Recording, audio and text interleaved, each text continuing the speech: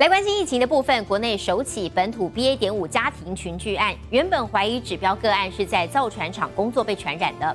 不过从职场接触者的病毒基因定序结果来看，目前都是感染 BA. 点二。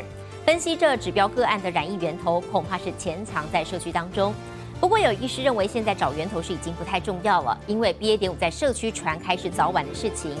对于台湾的 BA. 点五疫情会不会像日本这么严重呢？也有医师认为是很难预测。不过最多呢，就是单日确诊数可能落在三万到五万人左右。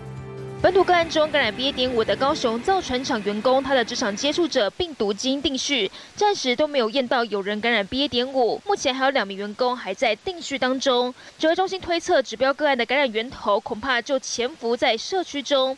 医师黄高斌怀疑，他的小儿子比他更早出现症状，尽管发病前两天都没出门，但也不能排除可能在更早之前就已经被传染，把病毒带回家里。两天前的话，应该就已经被传染，虽然。奥密克戎它潜伏期超过三天左右，但有时候也不排除它的潜伏期是更长。当你社区有两三万个人在感染的时候呢，你要厘清每一条传染链是有困难的。从定序结果来看，可以推测社区中另外有传播链。不过，医师沈正南认为这些都无关大局，因为 BA. 点五在社区传开是早晚的事。前机关局长苏一仁也分析，台湾 BA. 点五疫情严重与否，其实都还很难预测。不过，单日最多的确诊人数可能会落在三万到五万人。左右。